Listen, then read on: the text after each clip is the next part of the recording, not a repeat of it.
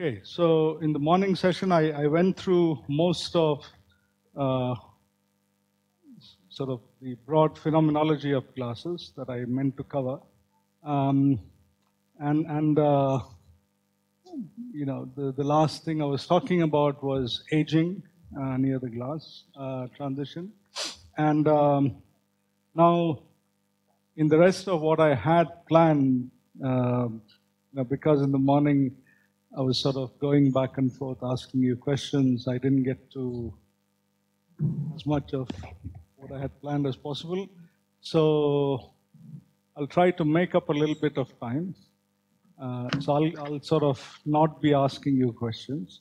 And, and uh, huh? uh, no, but then they take a lot of time. Huh? Listen. No, no, I'm saying, so what I was going to say is, therefore, they should stop me and ask me questions, right? No, I won't be asking them questions, but they can ask me questions, right? Right. Yeah. So, um, and the other thing is, uh, I will skip some material which I think is not essential to go through. Uh, so I'll sort of tell you the, the summary of it. So if there's any confusion, you can stop me and ask. Okay? All right. So we, we basically stopped here where we said uh, if I if I have a system that's aging, uh, what that means is that the not only the properties of the system, such as the volume, uh, a function of time, but also the dynamical response of the system changes uh, with the with the amount of aging. Okay. Um, so there's something very uh, sort of interesting and, and uh, important that's associated uh, with this kind of behavior, which I want to go through. And in order to do that, I want to first give you a very quick uh, summary of the fluctuation dissipation theorem. And, uh, and you'll see why that, that comes in at this point of the story. And also, this gives us a good way to start talking about uh, description of dynamics. Okay. Um, so now, if I have a system where I have a bare Hamiltonian and I and I now impose an external field E, which couples to some observable, uh, which is a function of the coordinates of the system, which we call M here, uh, then the perturbed Hamiltonian can be written in this way. And when that happens, um, you expect that in equilibrium various properties will change, right? So in particular, you if if this variable itself m uh, had a zero expectation value in the unperturbed case, you expect that it will now acquire a finite uh, finite value, and uh, that finite value I can write in the limit and, and uh, well. this can be written as a, a, susceptibility times the applied external field. Okay, so at least we're talking about linear uh, response of the system.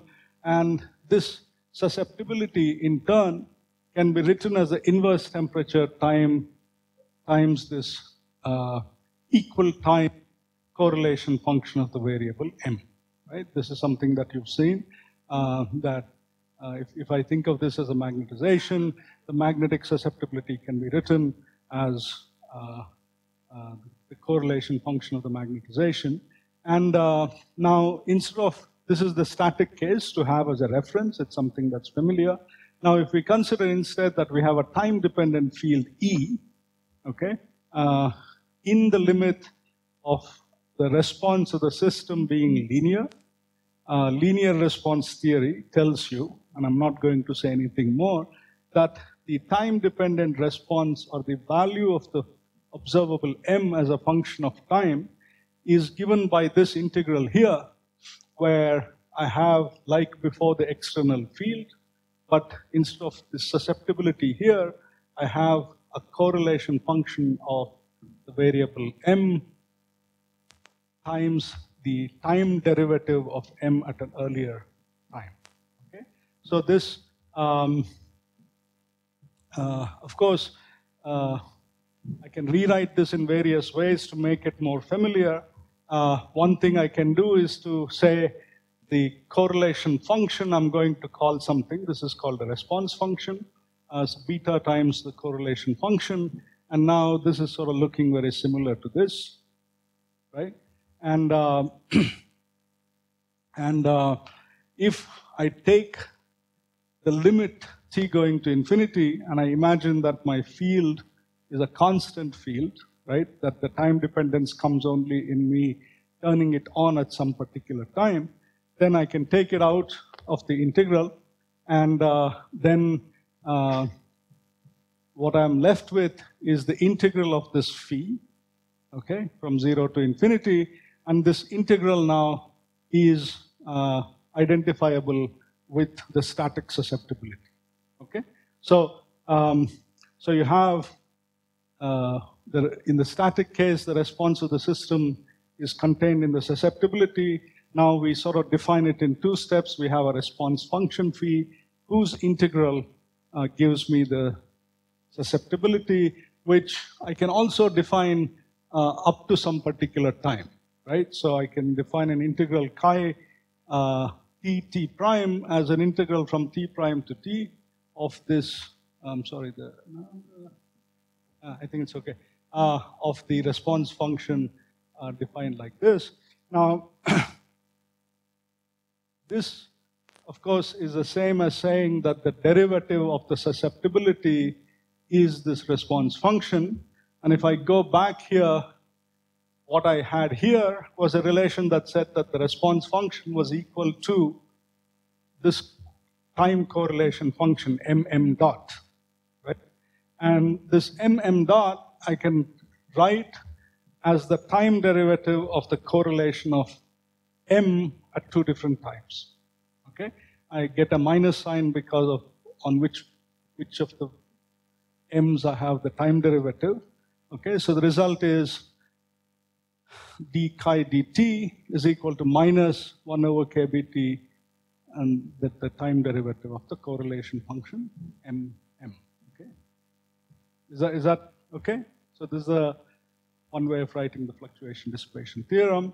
And uh, I can also sort of consider an integral form of this, where I take the integral on both sides, and the chi at the same time, if I take t prime, t prime, uh, it's zero, okay? Um, um, so that allows me to write my chi at t t prime as uh, the integral of the right-hand side, which is the derivative of the correlation function, and I have c at, at the same time minus c t t prime. Okay? Now, um, this starts out at time t equal to zero by being uh, the same as this guy, and then it decays to zero, right, in equilibrium systems. And therefore, at long times, I'm left with this quantity here, okay? The equal time correlation of m, and that was the static susceptibility. So everything is okay, yeah? Um, so this is now uh, what this version of the fluctuation dissipation theorem tells me is that if I were to plot this susceptibility on the y-axis and the correlation function on the x-axis, I should get something with a negative slope where the slope is the inverse of the temperature. Okay? And that is a test, if you will, of the system being in equilibrium. Yeah? And uh, so uh, all of this uh, to say that, in fact, in aging systems, uh, this doesn't work, right? So this fluctuation dissipation relation is violated in aging systems, and this is sort of uh, an important and interesting uh, observation. Um, but before I turn the slide, is this all clear to everybody? Yeah? So there, there's sort of many things that are going on here. Uh, one of the things is that even though I didn't emphasize it up to now, we have introduced time correlation functions as an important quantity to, to study, right? When we're looking at the response of a system through external perturbation, right? And, and that in what follows, I'm going to assume uh, is obvious, right? That, that we should be looking at time correlation functions as a, an important way of characterizing how a system might respond to experiments. Yeah? Okay. So, how, what does happen uh, for aging systems uh, is illustrated here, where I plot temperature times the susceptibility uh, against the correlation function. So in time, I start out here where the correlation function is 1, right? I, it's been normalized properly. Uh, and the susceptibility is 0, right? So as time goes on, I go on this axis, sorry, on this line, where I'm now, my correlation is decreasing, my susceptibility is building up, right? And the slope that is marked here is a, a negative unit slope, right? Because I multiplied the temperature here, okay? And, and so if the system was in equilibrium, uh, that the entire data set would lie on that curve. Okay, and um, what one sees instead is that at, at small values of correlations, there are deviations. Okay, and uh, so this is a hallmark of the uh, of aging of the system not being in equilibrium. But it's also interesting that there is sort of a separation of two regimes where the, the fluctuation dissipation theorem holds and, and does not hold, which points to the idea that there is some limited sense in which thermalization is always present, but there are other degrees of freedom which are not thermalized. And when that is the case, one can think of uh, perhaps expressing the behavior here uh, in terms of an effective temperature. Okay, that, that I imagine that there is the, the, the what the thermometer measures is a good enough temperature for the behavior at, at, at short times, but the behavior at long times is governed instead by some other effective temperature, etc., uh, etc. Et I'm not going to go into all this because that, that takes a lot of uh, time to properly discuss. But this is just to sort of tell you that, uh, yeah.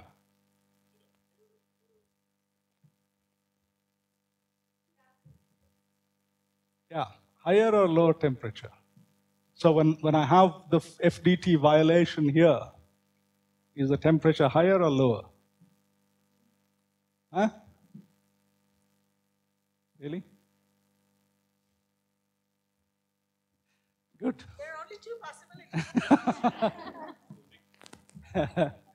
okay, so, well, the slope is lower, right? But the temperature is sitting here, right? So it's actually a higher temperature. Okay, yeah.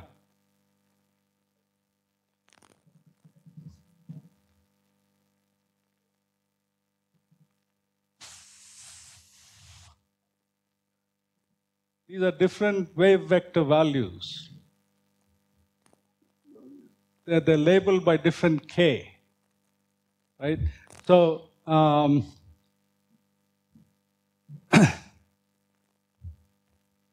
If you ask me more details about what this system is, I, I don't remember. Okay, but the but what you're asking.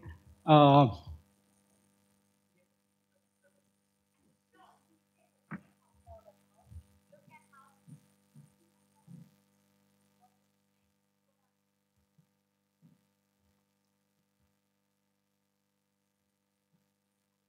well, so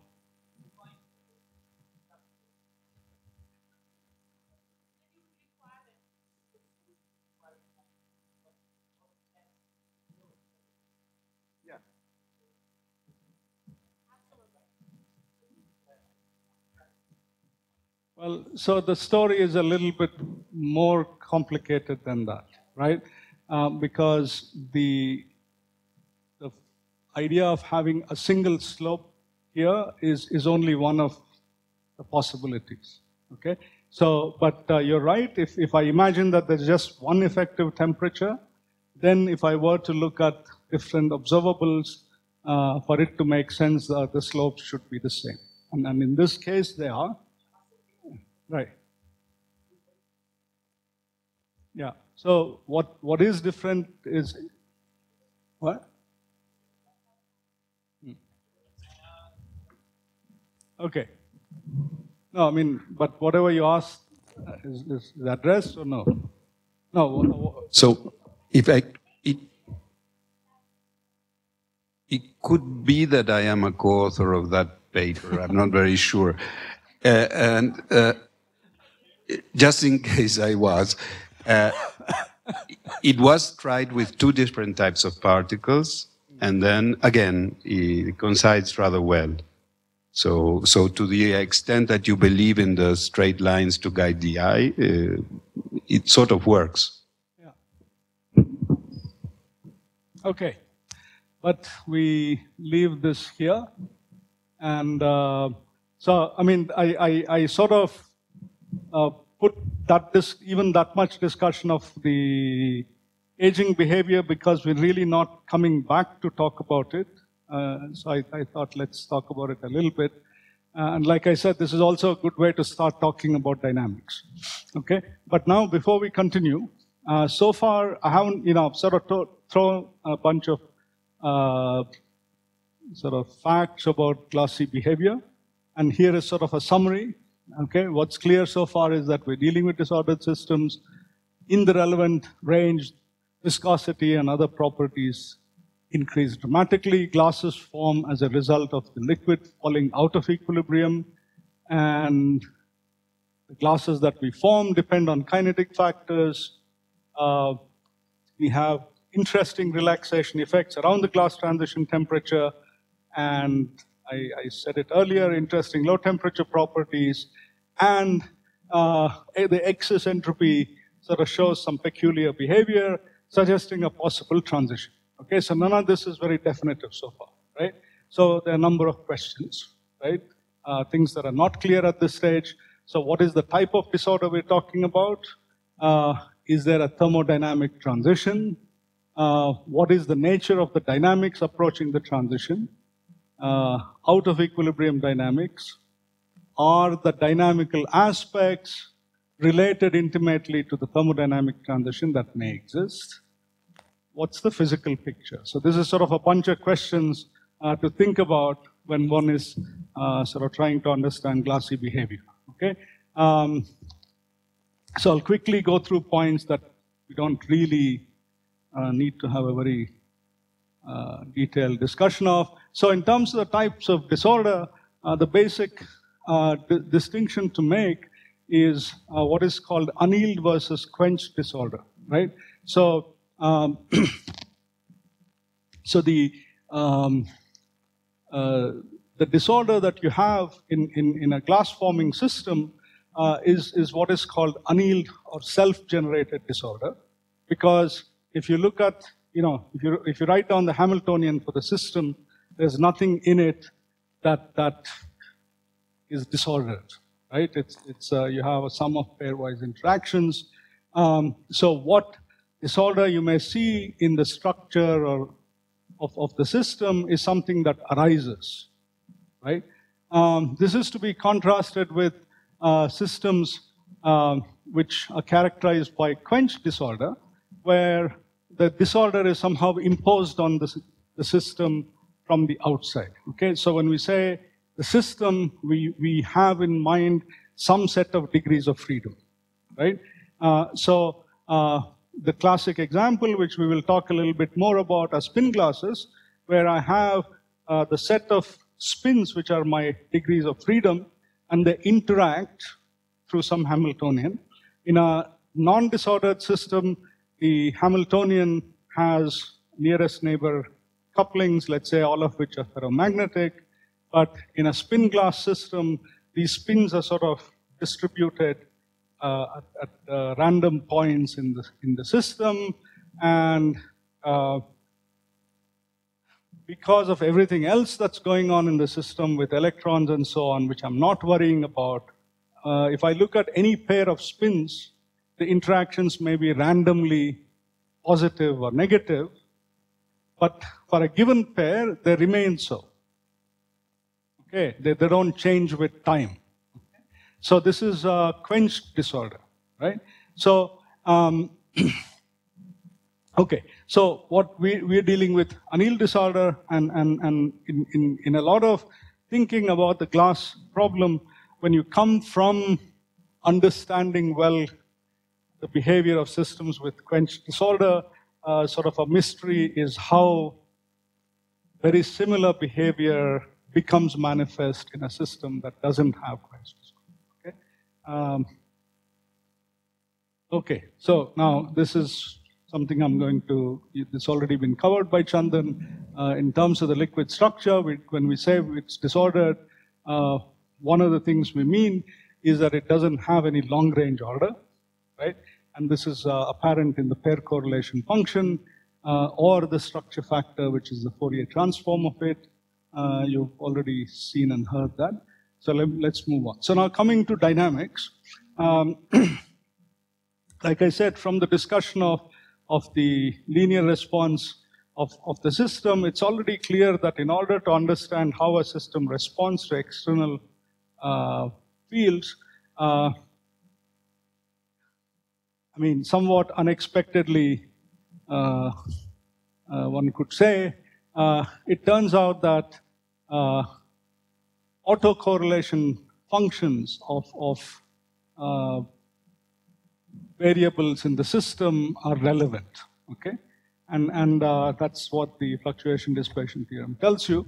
Um, so what are the variables that one would normally think about when one is discussing a liquid, right? So there I'd written some symbol M and I didn't, I didn't tell you what they are. That symbol was. And uh, so um, a lot of uh, discussion uh, uh, in, in, in, sort of in, in what follows uh, will implicitly or otherwise focus on what are called slow modes, right? Modes that uh, decay or, or, change slowly. And these are also called hydrodynamic modes. And uh, I won't go into uh, a lot of discussion of it, but one example, which I will describe in some detail, is the, dense, the local density of a liquid, right? So you know that a liquid has an equilibrium average density that is constant, right? But I can imagine that uh, in some particular instant of time, there is some fluctuation away from that constant value, right? And then I can ask, how does that fluctuation change with time? Okay? And uh, now, because density fluctuations can go away, uh, by actually, you know, sort of particles moving, right? So the mass is a conserved quantity, and, and so you can't just sort of make it disappear. If I decrease the density fluctuation in some part, that has to involve the movement of particles elsewhere, right? And therefore, um, these modes, if I'm looking at long wavelength fluctuations, uh, take longer and longer to relax, the longer the wavelength? Uh, so um, we're going to be thinking about such modes. Okay? I won't tell you more along those lines. Uh, but if I wanted to now uh, start uh, defining you know, and talk about these density fluctuations, what I want is a space and time dependent field, right, that describes the density fluctuations in the system. Yeah, and and so uh, I can uh, talk about it in many different ways, but the simplest way to define a field, at least formally, is to do what I've done here, which is to say that the density at r comma t is given by the sum over all the particles I have in the system uh, with a delta function at the position of each of the particles, okay, at a given time t. Okay. Now, of course, uh, reality, this will not give you a smooth field, right? You'll have a bunch of delta functions, but then you can imagine that I take this field and I do some suitable forms of coarse graining, etc., to get a smooth uh, field with, which I can work with. We won't go into all of that, right? This is good enough for now. right? And uh, one thing that's commonly done, indeed, as I'm talking right now, uh, is not to talk about the real space uh, version of these fields, but to, to talk about Fourier components. Right? This is something we do uh, all the time. And so the Fourier transform of this is, you know, if you, you can see very clearly, simply given by the sum over all the particles, where, because there's a delta function, I just get the exponential of ik dot ri of t. Okay? He agrees. okay. Um, so, um, okay, now given that rho k of t, I can ask, can I now build a density, uh, sorry, a time correlation function of this, right? And the time correlation function uh, is uh, written here. It's called the intermediate scattering function, and, and the reason uh, I'll tell you in a minute. And uh, so normally when you have complex variables, uh, when you define correlation functions, uh, you define them as expectation values of A star, A co complex conjugate A. And so here uh, I want to take the, the time correlation function of rho of k at time 0 uh, times rho of k at time t. And uh, the rho of k at time t is here, rho of k at time 0 complex conjugate gives me a minus k. So this is now um, the intermediate scattering function, and this is related to many other familiar things that uh, you, you, you, you know. Uh, one is if I put this t equal to zero, I get another quantity that I mentioned a few slides ago. Does anyone know? Or can anyone tell me? The static structure factor, it's called, right? The Fourier transform of the pair correlation function. Now, if I take, in addition to the space Fourier transform, also a time Fourier transform, right? Then I get what is called, by the same token, dynamic structure factor, right? And the dynamic structure factor is something that you measure in frequency resolved scattering experiments, right? And, and so the frequency dependence is something that, that tells you about the dynamics. And because this is sort of halfway between, I guess, it's called the intermediate scattering function. Okay? Um, okay. Now, um, I can also not look at this whole uh, quantity. Uh, I, uh, you know, it, I didn't emphasize, but if I expand these uh, densities out, these come out as a double sum, right? But then I can say that, um, you know, I'm not interested in this collective quantity, but I just want to look at single particles and look at how they move around, right? And then uh, I can, instead of this double sum, I can just work with a single sum here, right? I mean, I have to define a corresponding density variable, etc., but it's trivial enough.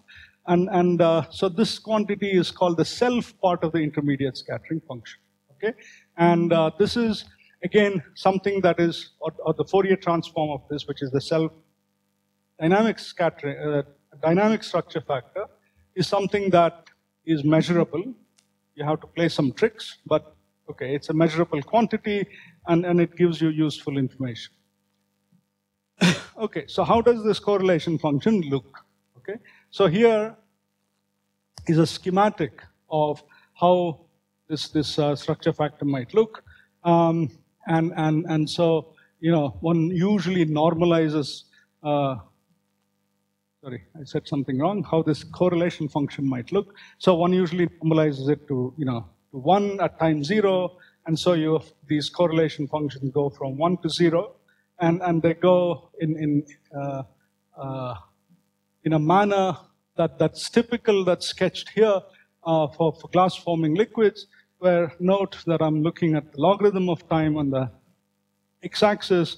And so what I normally have is a short time uh, relaxation that is fast.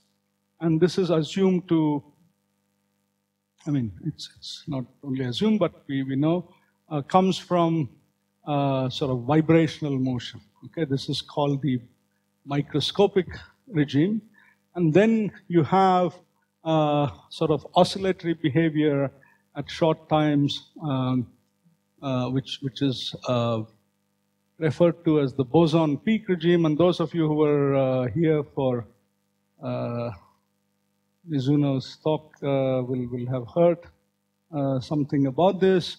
And then you have a plateau, you know, so this function doesn't continue to decay, but it sort of plateaus out for uh, intermediate windows of time and, and then eventually decays. Okay? So this long time decay is called alpha relaxation and uh, is characterized by, by some time constant. Okay? So the time constant is called the alpha relaxation time and, uh, and, and the long time part can be described by a famous uh, functional form called the stretched exponential form. So it's slower than exponential. And the stretching exponent beta, and there's a bracket missing here, um, is usually less, you know, well, it is less than one uh, in order for it to call, be called stretched exponential. And uh, it sort of, uh, the smaller it is, the more stretched the behavior is. Okay? Um, and this is some uh, data from computer simulations um, where, again, you see that there is sort of a whole range of, this is for the Kob-Andersen binary Lennard-Jones system. Uh, there's a whole range of uh, temperatures from very high to rather low. And you, you see that uh, for high temperatures, this behavior is, is sort of single, it's a single curve. It's, uh, you know, um, not remarkable. But as you go to low temperatures, A, you go from a relaxation time of order 1 to a relaxation time of order 10 to the 4 to 5. Okay, so in this window of temperatures, the relaxation time, you know how to read off, how did I read off the relaxation time? 1 over E, right? So if, if, I, if I say that I have a simple, or actually even if I have a stretched exponential relaxation, the correlation function decays to 1 over E uh, at the relaxation time, right? And that's true if it is stretched exponential all the way from 1. That's not quite the case here, but that just to uh, eyeball uh, the relaxation time, you just draw a line here, and that, that's, that's relaxation time, right? So, um, okay. So at low temperatures, all the features, more or less, of what I tell, told you are, are, are visible. Okay, um, I'll skip this. Um, okay, now um, there's another important function which is related to the intermediate scattering function that uh, people look at, which is called the Van Hove uh, correlation function, which is basically transforming back into real space of the intermediate scattering function. Okay, so uh, if I ask the question, uh, if I had a certain uh, density of particles at a, at, at, a given position at time t, you know, what's what is um, what is the distribution of those particles at a later time? Uh, it's simpler to say when I talk about a single uh, the self part of the Van Hove correlation function. Uh, this is the formal expression where it's a sum of delta functions r minus ri of t minus ri of 0. Uh, and this is simply asking the question, uh, what is the probability that a particle has moved by a distance r in time t? Okay? Um, and uh, this is the Fourier transform back of the self-intermediate scattering function, and this is the Fourier transform back of the uh, intermediate scattering function. Okay. Um, now, if I if I take this quantity for a moment, the self part, uh, there's one problem which all of you have studied, where you know what it looks like, right? Uh, can you tell me? So the probability that in time t I have moved a distance r is a question that you have studied, in what context that is on the slides. Huh?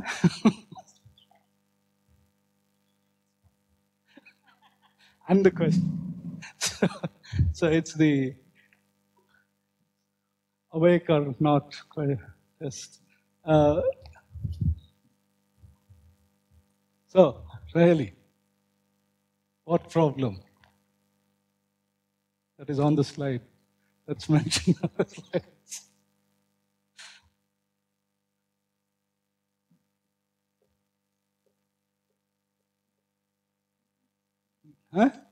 Brownian motion, diffusion, great, right? Uh, and so there you know what the, so you were, you knew and you were looking at the answer. Oh, you, okay. but, okay, so there you know that the, the, the uh, Van Hove function has a Gaussian form, right? Where if I now take this as a probability distribution, I compute the second moment, the mean squared displacement as a function of time. Uh, it's linear, and the slope gives me the diffusion coefficient. Okay, so the question is, do we have the same behavior in the case of liquids? And the answer is, at long times you do, right? At intermediate times you have funkier behavior. Okay, uh, so what does it look like? Uh, if this was a form, right, if I looked at the mean squared displacement, it should just be a, a single curve which is linear, right? Uh, but uh, if we look at what you really find, uh, again, for the same set of uh, simulations, I believe, what you find is, you know, there, there's a short time regime where the slope is 2. So r squared goes as t squared. Yeah? And uh, what is that called? Ballistic motion, right? So I, I, just keep moving in the same direction, so the displacement is proportional to time, the displacement squared is proportional to t squared. And, and then at long times, I've shown here, the slope is one, and so all the cases from high temperature to low temperature, you're reaching that slope one. Okay? And that's the diffusive regime. But there is this interesting regime in between where I have a plateau in the mean square displacement uh, corresponding to the plateau that I saw in the uh, intermediate scattering function. Okay, and and this is uh, a regime where people say the particles are caged, and there are various other words to use. Um, but this is how it looks. Okay, and uh, we'll come back to this in a minute. Now, clearly, uh, this whole behavior uh, is not at least obviously uh, corresponding to this Gaussian Van Hove function, right? So uh, there was a lot of detail in that slide, which I'm going to skip, but, the, but I can define a parameter that tells me uh, how non-Gaussian my Van Hove function is, right? So how would I do that if, if you know, I was just looking at this expression, right? so what is the quantity that, that sort of zero if everything is, you know, what can I think of which would be zero if the distribution was Gaussian, and if it, it would be something finite if it was not. Hmm? No. Yeah. So you know that in the in the case of a Gaussian, uh, the the higher moments are related to the second moment, right? And therefore I can construct a suitable ratio. Uh, and, and, and so the fourth moment is the, with some numbers in front, the fourth, second moment squared, right? So I can ask if for my system, this relationship is valid, right? To the extent that it's not valid, I get a number that says this is how non-Gaussian your distribution is, right? And I can define this at any given time, yeah? So here is that quantity. Okay, all this stuff I'll skip. This is the, called the non-Gaussian parameter, obviously. Uh, and it is defined in terms of the fourth moment to the second moment squared ratio. And, uh, and it's a function of time. Yeah. So what should we expect this quantity to behave like based on what I showed here?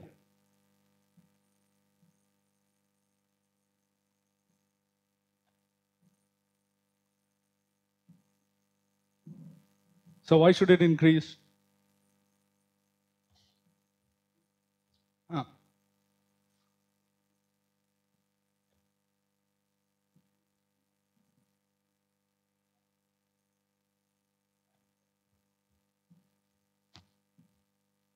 Okay, I'll take that. Um,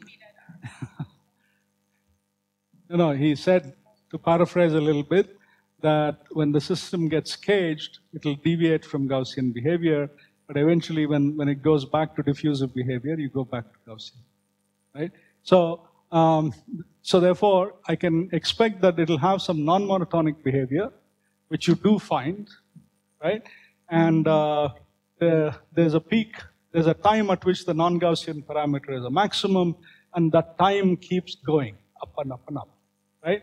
Uh, one might be tempted to think that this is somehow telling me the alpha relaxation time, which would not be a bad guess, but it turns out not to be the case, right? So it, it turns out that the alpha relaxation time and the diffusion time that I might define, I think, oh, oh,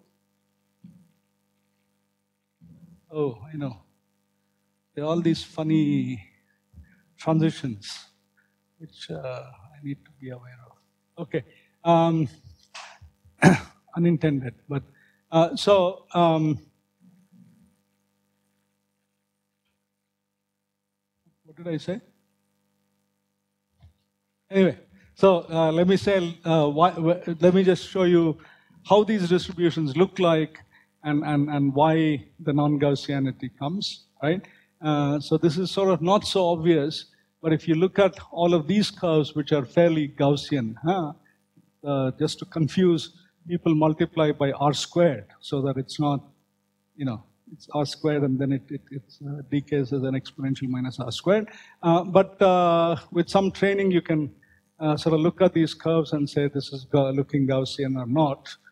And uh, basically, you know, this is looking pretty Gaussian, but if you go to lower and lower temperatures, sorry, if you go to at a low temperature, uh, sometimes, like I think the, the uh, magenta one here, uh, okay, this you can't really see, okay, I'm sorry.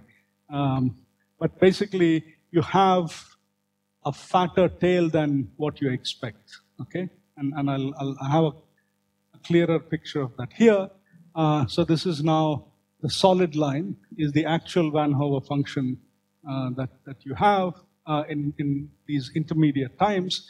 And, and uh, the dotted line is a Gaussian function with the same mean squared value of r. Okay?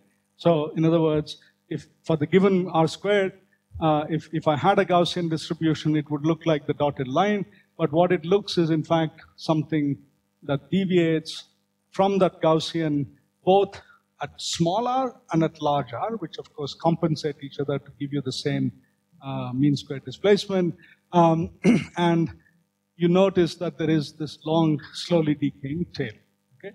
And um, so these particles that contribute to this long tail are called mobile particles. Okay? Because they're moving faster than you expected. Right? And uh, one interesting observation is if I look at these particles now and ask where are they in space? Are they randomly placed or are they spatially correlated somehow? Right? um, what would be your expectation? Hmm? Random. okay. What, it, what would be the basis for either expectation? right? Why would, why might you think that they're spatially correlated?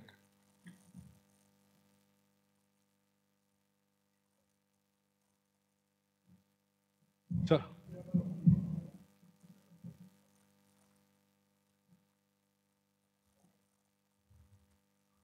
Okay, uh, so one thing that's sort of not obvious from anything I've said is that these are actually very dense systems right? There are particles not very far away from any particle, right? So, okay, so the um, now we can sort of imagine two situations where moving by a certain distance is easy, right? And then uh, you sort of say, you know, particles will be moving everywhere, right? I, I don't expect there to be any correlation. But if it becomes difficult for particles to move because of the presence of all these other particles, right? One may expect that there is some kind of cooperativity that is needed in order for indi- individual particles to move.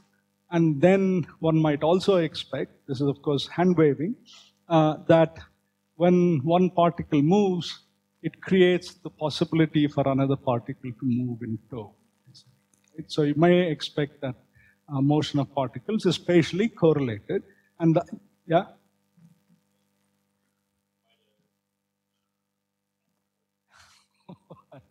well, if if you know, if I like I said, if if uh, if it's easy enough for particles to diffuse, then uh, nothing special needs to happen. So particles anywhere in the system can be moved.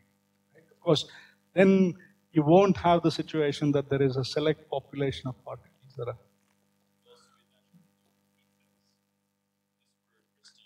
Right? Which are moving a lot.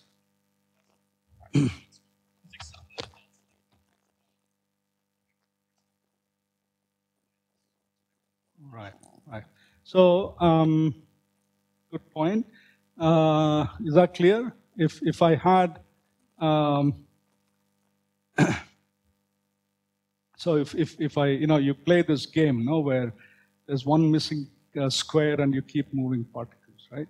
So uh, that's basically defect diffusion. And now, uh, if I had some population of these defects all over my system, which could be distributed randomly, those particles would clearly uh, contribute to the tail, right? So I will pick out a mobile uh, po- subpopulation, but if I then were to go and look where they were, uh, you know, they, they would be all over the place. There'll be no spatial correlation. So that's sort of, but on the other hand, if these defect locations are things that need to be created due to fluctuations in the equilibrium liquid structure, then the situation would be different. That, that uh, a defect that I create for one particle for some time that, that may last a finite amount also be available for other particles to move around. Right? So that, that's sort of the intuition for saying that they should be correlated. Okay, so what that tells you is that there is, in different ways that one may speak of, heterogeneous dynamics in the system. Okay, um, and this has consequences which I will uh, skip, uh, which is of interest to many of us, but will you know a shortage of time. Uh, but uh, um, let me see, what do I have here?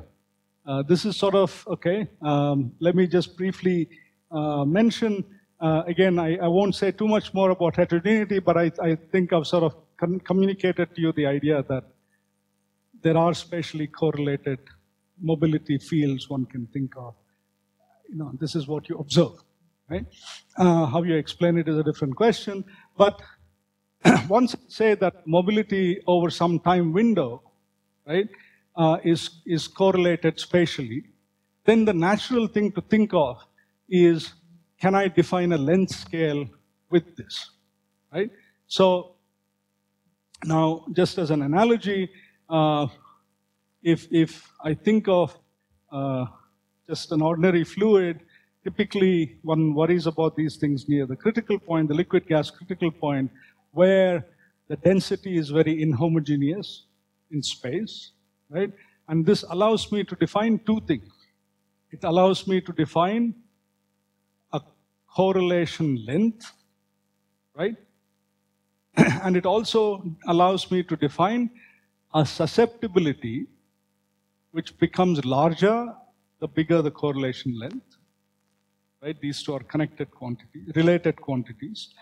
And uh, one may ask, is there an equivalent thing that we can do um, for in, in this case, right? Where I don't have a density field that I'm talking about, but instead I'm thinking about a mobility field.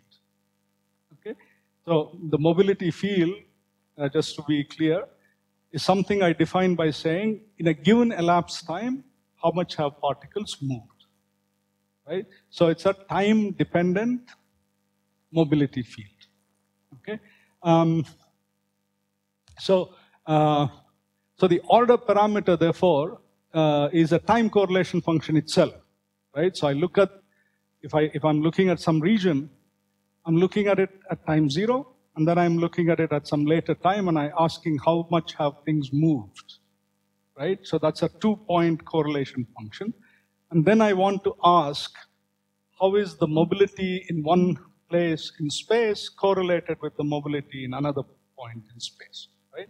And that also requires two more density fields. So overall, I have four, I have four density fields that I need in order to define a four-point correlation function.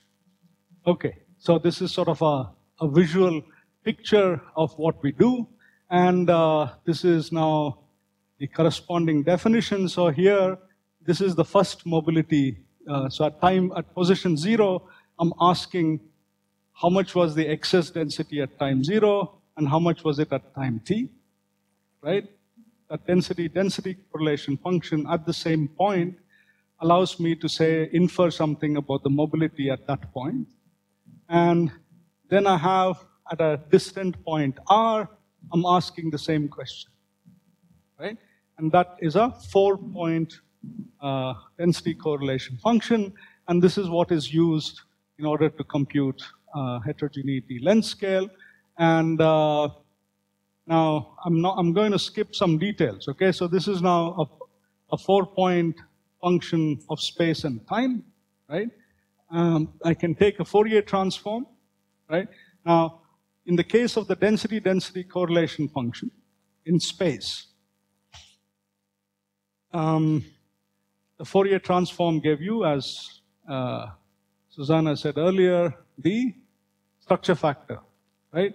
And you might know, but if not, I'm telling you now, that the k going to zero limit of the structure factor gives you the susceptibility, the compressibility in the case of a liquid, right? And, and so similarly here, uh, we can take the Fourier transform of this G4, right? Um, and if we take the k going to zero limit, uh, that gives me a susceptibility which is called the chi4 susceptibility. Okay, it's a name and uh, it continues to be a function of time uh, because the mobility field are defined as a function of the elapsed time. So chi4 is also a function of time. Okay, and if I look at what the typical behavior is, uh, it looks like what I showed earlier, which was a non-Gaussian parameter. Right? It, it, it goes up and, and, and comes down, right? So there's a characteristic time at which the uh, this chi4 susceptibility is, is a maximum. Okay, in other words, there's a characteristic time at which the dynamics is most spatially heterogeneous. Okay, um, and and uh, again, uh, we observe that this uh, the, the characteristic time, which we call tau 4, is basically the alpha relaxation time that one may define using the same uh, correlation function.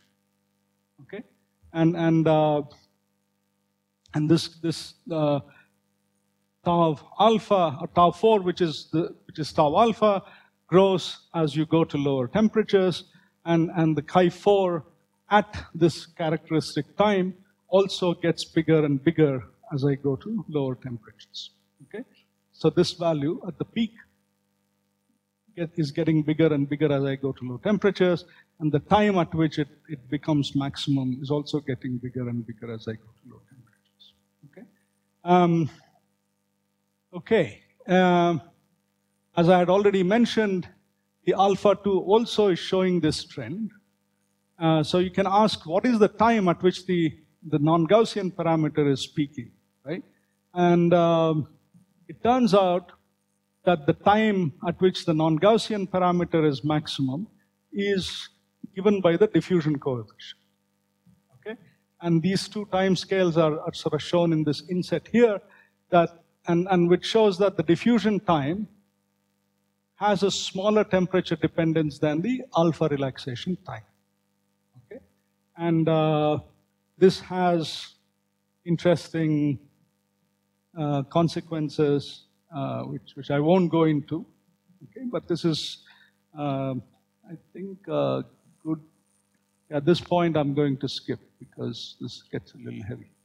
Um, okay, so before I now go on, are there any questions?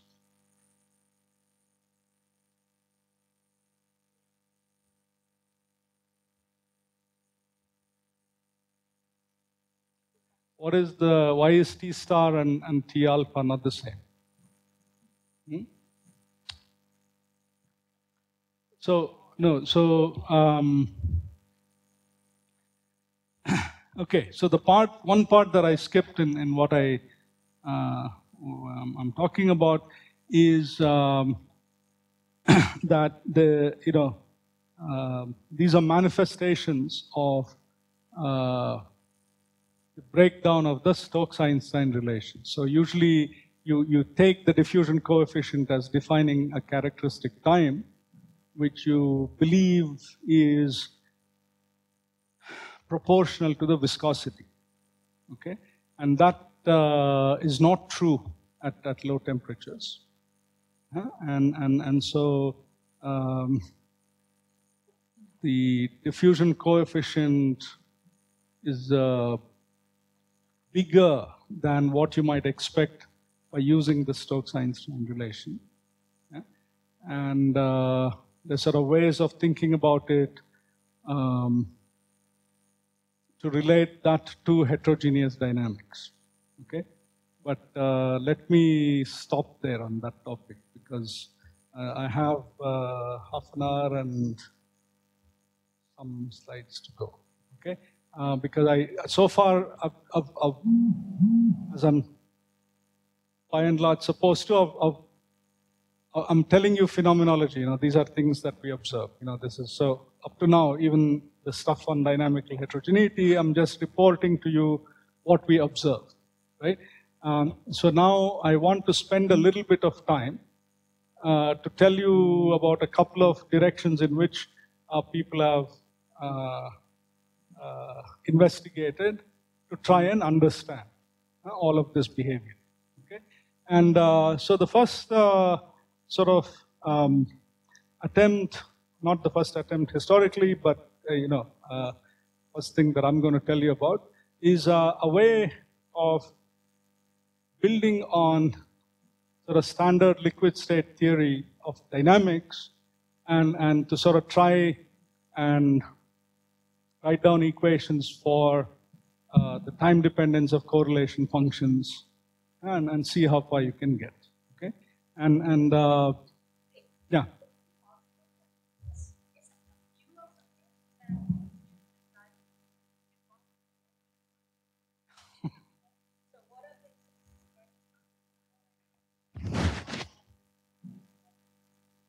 hmm.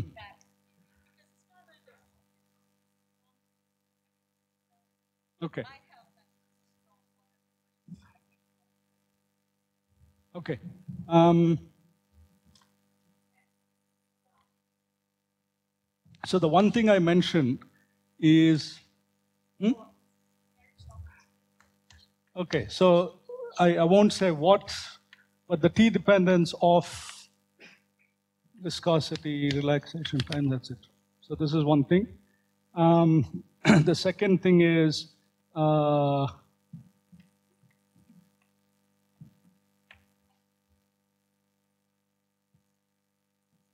this is stretched exponential, so I'm just, I'm going to write phi of t, which is uh, uh, any time correlation. We talked about the density correlation function.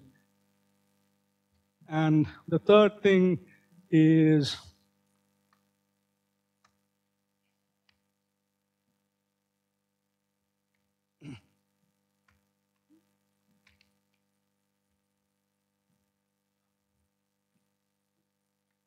So these are related, but uh,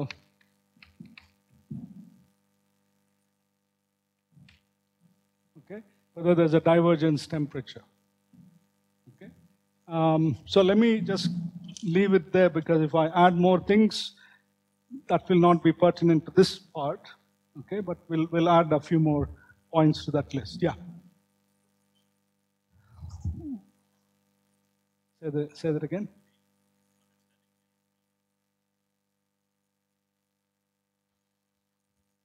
Except uh, that's sort of implicit there, but okay.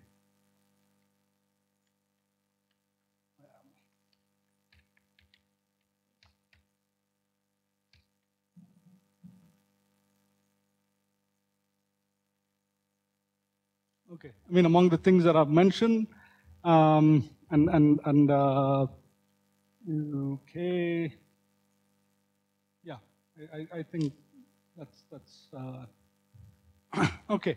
So um, now, okay, this is now like a really. Uh, this needs a lot of time, but I, I let me just sort of give you a a quick summary of what one tries to do, right? As I already said, uh, you, fo- you focus on writing down the dynamics of time correlation functions, and you try to start with the exact microscopic equations of motion, and you try to sort of define what you call slow degrees of freedom, as I said, hydrodynamic modes, uh, and, and fast degrees of freedom. And you have a picture that the fast degrees of freedom somehow just offer a thermal bath, okay, to the slow degrees of freedom so that I can think of then describing the slow degrees of freedom uh, through some form of a Langevin equation, right, which you heard about. Okay? And uh, so now the set of slow degrees of freedom obviously have to include things that I'm interested in, right? Uh, but uh, everything else, for the time being, are the fast degrees of freedom. Okay, and um okay, so um, like I, you know, for concreteness, uh, density and and, and momentum uh, are, are slow degrees of freedom that I'm going to be interested, in, right? Uh, so uh, I, I won't go through all of this, but if I were to write down these microscopic time evolution equations, right, for any, any variable A in, in, in, the, in, in the system subject to Hamiltonian dynamics, I can formally rewrite this equation as um, a generalized Langevin equation where I have uh, an instantaneous uh, sort of, spring kind of term, and then I have what is called a memory term, where uh, the time derivative of A depends on what it was before. Okay? And this K of tau is called uh, a memory kernel, right? And then there is a random force, like you know I normally have when I write down a Langevin equation. Okay? So this is uh, a fairly standard Langevin equation, right? Except we have some formal expressions for this memory kernel and the random force. And in particular, the memory kernel is going to be given by the time correlation function of uh, random force. And that's not actually unfamiliar, right? You, when you wrote down and when you discuss Brownian motion, the friction that sits in the same place uh, is related to the no- noise, right? This you know. So that's a FDT statement. Okay, skip. right now, this, uh, if I if I like I said, take my set of variables to be the density and the current uh, variables, right?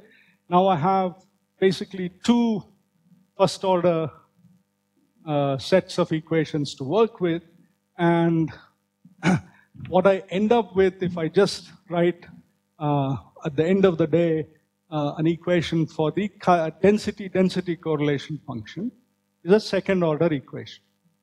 Okay, this is again something that, that's a familiar feature. And then the second derivative of f is given by, like I said, uh, a term that uh, you know, is proportional to the variable itself uh, incidentally, yeah, so what is one thing that is relevant going from this slide to this is I can take this equation here for the variable A and write a corresponding equation for the time correlation function of the variable A, which I'm going to call C, right? Uh, which looks basically the same except the noise term drops out. Okay? And that's what I'm writing here now uh, for the density density correlation function right? Uh, so, and, and it has this term, which is the, like I said, the random force correlation term, which, which gives me the memory kernel. And this, in principle, is very difficult to compute. Okay? So what people do under certain approximations, and I'll come to you know a qualitative statement about it, is to write this quantity in terms of a pair of density correlation functions. Okay? So what you, in fact, okay, so let me just leave it there. So it's a very complicated equation, but at the end of the day, what you have is the second derivative of f, a term that's proportional to f, and a memory integral, which has the time derivative of f multiplied by two correlators. Okay? And, and when you have products of these correlation functions, uh, that tells you that different modes will get coupled. And, and that's where the name comes from. And uh, now, okay, so in terms of what behavior of the time correlation function, when you can solve it, uh, you get is, is illustrated here in a simple model or a, in a what's called the schematic model. And the, what you see is behavior that's qualitatively right in the sense that you start out by a single step relaxation function followed by uh, a sort of relaxation to a plateau and then relaxation from the plateau. But eventually, uh, beyond some uh, parameter values in this model, uh, you, you reach this plateau value and then you do not decay, right? So in other words, density correlations become frozen at a finite value, right? And this is then a transition where your relaxation time has diverged to infinity. Okay, so you find this, um, but uh, it turns out that this divergence, I mean, there are lots of details which I'm skipping, but this divergence sort of happens at a temperature where you don't really expect it, right? Uh, so it, it, what, it, what this theory gets right is how you begin to approach this, this uh, limit of um, uh, diverging relaxation times, but then um, it, it, the relaxation times diverge too soon. Okay, uh, what it again, one thing that it does uh, the functional form of the relaxation functions uh, you, you, get. Okay, they're not uh, sort of, you get it uh, through numerical solutions, uh, etc. But but basically, you don't um, you don't observe the full range of temperature dependence that is seen in real liquids. Okay, the the dynamical transition happens too soon.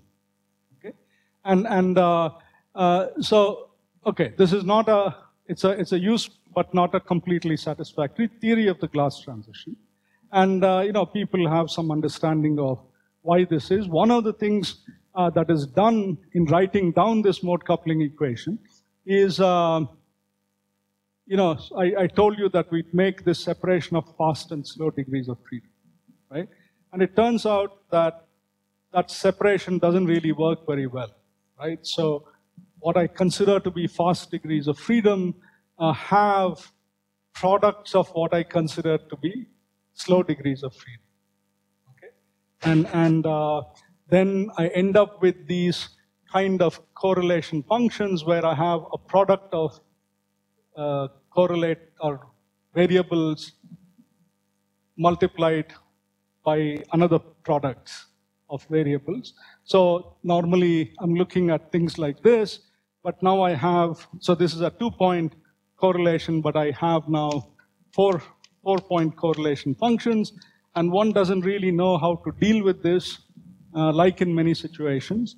And so one does an approximation where you replace it by the square of two point correlation functions. So you factorize this four point correlation function, and this is sort of a, a mean fieldish approximation, right? So people call this a mean field theory.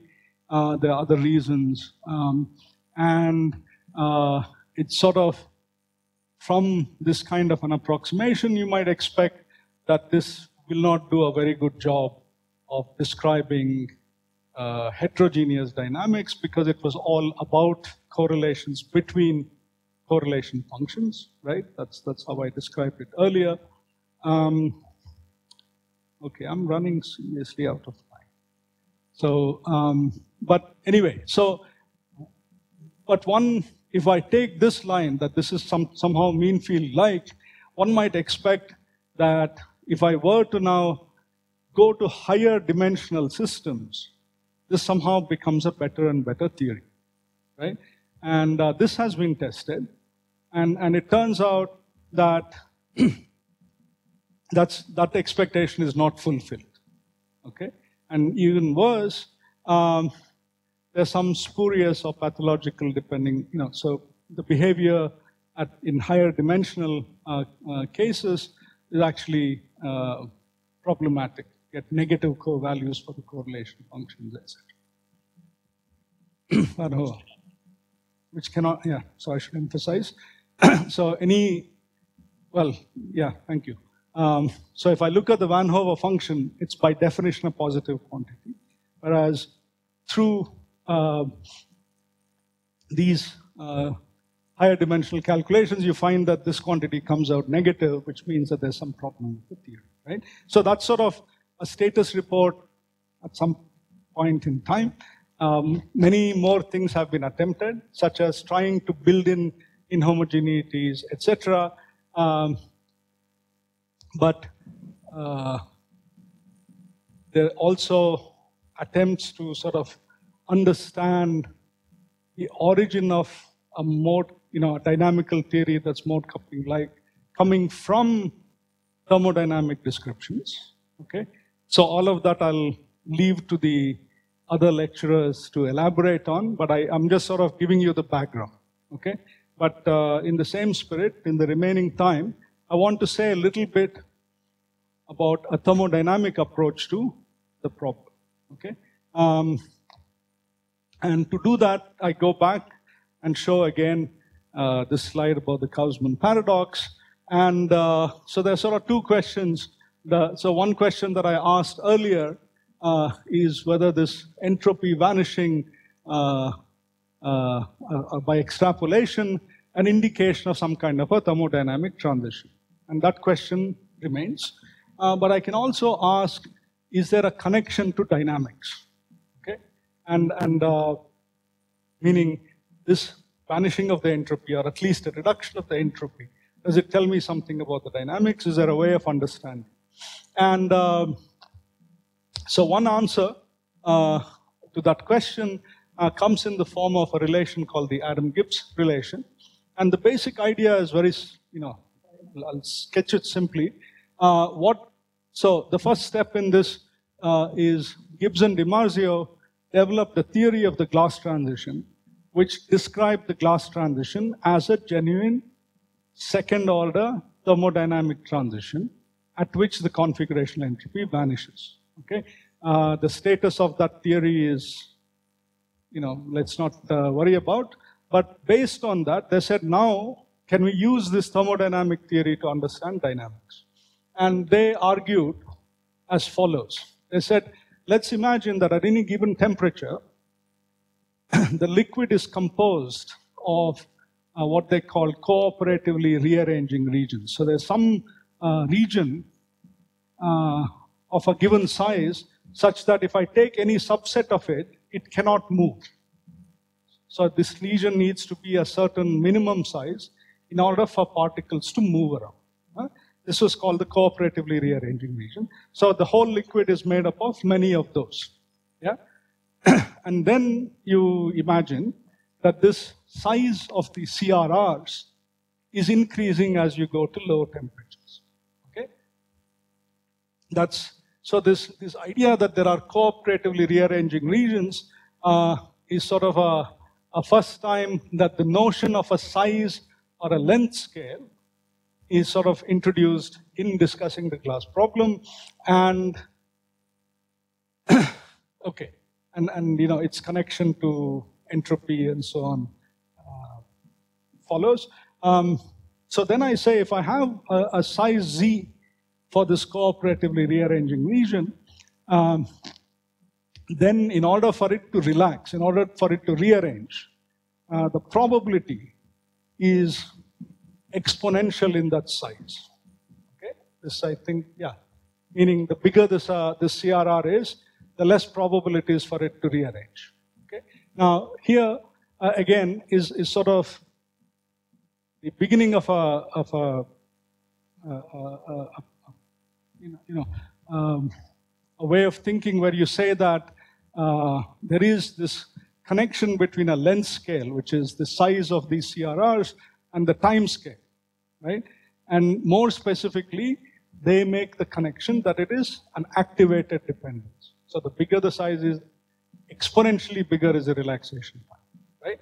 And uh, that's not, for example, how it comes out uh, in critical phenomena, right? In critical phenomena, if I have a correlation length of a certain value, then the relaxation time is a power of that correlation function, right? Here, the assumption is that it's exponential, right? And then this is sort of a relatively innocuous statement, uh, but you say that if I have uh, these minimum sizes required for particles to rearrange, right? The entropy content of that minimum size I can think of as being a constant right? Because, you know, crudely put, if I say that this, the CRR has to be this big for it to change conformation, I can say, okay, you know, then there, it has a minimum of two structures at that size, right? So the entropy is log two.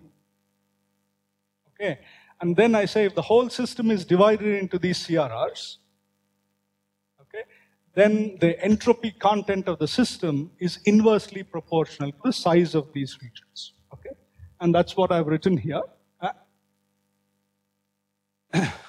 Okay, and uh, so then uh, this, of course, uh, probability uh, I can I can convert to a time scale, right? And I plug in the one over SC or for this Z here, and uh, what I end up with is this relationship between relaxation times and the entropy, which where it says the relaxation time is the exponential of the inverse of the configurational entropy. Okay? And so this is again an activated uh, dependence. And uh, if the entropy gets lower and lower, the relaxation times shoot up correspondingly. Okay? And uh, this now has been sort of tested in various ways, in simulations and in, in, in experiments and, and it seems to work uh, quite well. And I am really, mm, let me just sort of go through all of this. So the, the question is, how do you actually, at least in the simulations, okay, what is done in experiments is to uh, look at the excess entropy that we talked about earlier as this configurational entropy, right? But uh, what is you know, but if I were to sort of ask, in principle, what should I be thinking of when I talk about the configurational entropy? I said it's, it's got to do with the multiplicity of states. What does that mean, right? So the, in the rest of the few minutes, I'll tell you a couple of different answers that one thinks about for that question, right? So one thing that I can say is at an intuitive level, I can say that, you know, if I were to look at the energy, interaction energy of a liquid uh, as a function of all its co coordinates, I could quite generally imagine that it has a very complicated shape, right? Which is characterized by many local minima. Okay? And uh, if I then say, I, I imagine that, or, or I say that what I mean by a structure is either one or a small, a collection of a small number of these local minima, right? Then the entropy that I should compute is the entropy of the number of local minima that I have. Okay, and uh, so these local minima are called inherent structures, and then the degeneracy of these inherent structures is what we call the configurational entropy. Okay, and uh, so this is sort of a cartoon picture. So this is, let's say, my overall phase space, and, and I imagine that I've broken up this phase space into subvolumes where each color represents the basin of one of these structures. Okay? Then the total partition function of the system I can write as a sum over each of these basins, alpha, right? And this energy phi alpha will be the energy at the minimum, right? And then this partition function here will be over that volume, let's say the green volume, uh, and, uh, and then I have a Boltzmann weight where the interaction energy is defined with reference to that uh, minimum value. Okay, and uh, so this integral I can call the basin free energy, which is what it is, right? I'm integrating over the basin and I'm integrating a Boltzmann factor, so that gives me the exponential of a free energy, right? and this summation here involves uh, a degeneracy, phi alpha. So at any given, sorry, omega phi, so at any given energy omega uh, phi, I have a certain number of minima or basins, right? And then I can define the log of that to be the configurational entropy. Okay, so I end up with uh, an expression for the partition function which will be an integration over all the energies of the minima. Uh, and, and the Boltzmann weight will have a basin free energy and this configurational entropy Okay, is that clear? Okay, so then there are ways by which one can numerically in computer simulations uh, figure out how to um, how to calculate this, right? And a key step in, in doing so like I said, is A, to define what you mean by a basin, and B, uh, define how you're going to calculate, or more precisely, approximate the basin integral. Okay? And uh, the simplest thing to do is to treat the basins as harmonic, and then you can sort of compute the basin integral easily. Uh, but um, and one can compute the basin configurational entropy, and uh, now, at this stage, you know, especially, okay, so if, if I were to just sort of say, I'm going to define some division of the configuration space, and I'm going to define the corresponding configurational entropy, then whatever you do is fine? But you're also trying to build a theory of glassy behavior, right? Which uh, involves some implicit notion that at some point, the relaxation uh, uh, of the system within each of these basins is going to be easy, and between them, it's going to become difficult and eventually impossible. Right? That's number one. Um, and that transitions between these basins should somehow tell you something about the relaxation times and the viscosity, etc. Okay? So if you say these are my additional demands, if you don't have a dynamical theory, it's conceptually a priori difficult to know what is the right definition of a, a basin. Okay? Um, so that, that is one problem. Um, in principle, even if I say basin for me means energy minimum, right, or the basin of a an energy minimum, um, it's actually very difficult to compute it uh, properly. Uh, so some those of you who were here for Daan Frenkel's talk know that that, that was quite difficult, right? Um, so um, that leaves us uh, with the question, are there other ways of motivating what ought to be the correct definition of a basin? And are there other ways of uh, computing it? A little bit. I'll go, go over a little bit, okay? And this is uh, what uh, Ludovic is going to be talking about. Um, ah. okay, now let me just take a little bit of time. Five is, I don't know. okay, uh, what shall I do?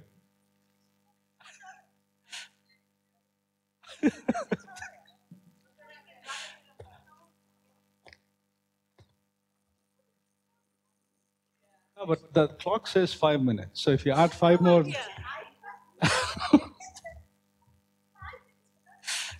no, no, let me go as long as. Okay, so. Um, what?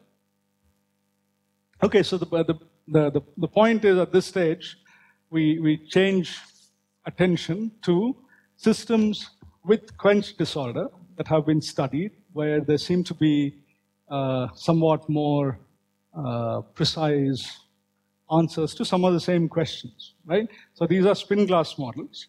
And uh, here is, uh,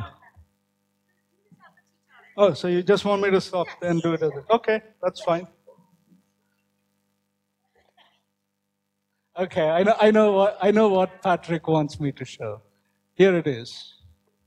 Okay, we'll leave it there. we'll come back. Yeah, this is nice. Okay.